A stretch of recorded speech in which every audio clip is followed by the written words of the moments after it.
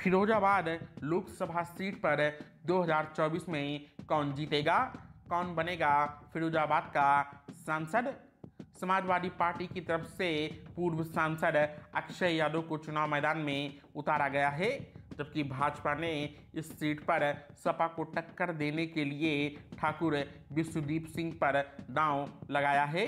यहाँ पर मुकाबला सपा और भाजपा में सीधे तौर पर माना जा रहा है और इन्हीं दोनों प्रत्याशियों के बीच टक्कर है।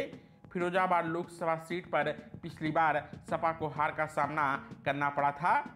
पिछली बार शिवपाल यादव के चुनाव मैदान में उतरने से अस्सी हज़ार वोटों से अक्षय यादव को हार का सामना करना पड़ा था।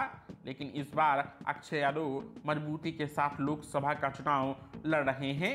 फिरोजाबाद लोकसभा सीट भी सपा के गढ़ में गिना जाता है। इस सीट पर रामगोपाल यादव के बेटे अक्षय यादव को सपा ने अपना प्रत्याशी बनाया है, जबकि भाजपा ने इस सीट पर ठाकुर विश्वदीप सिंह पर दांव लगाया है और मुकाबला काफ़ी दिलचस्प होने वाला है। फिरोजाबाद लोकसभा सीट पर इस बार कौन बाजी मारेगा और कौन इस सीट पर जीत दर्ज करेगा, आप हमें ज़रूर बताएँ।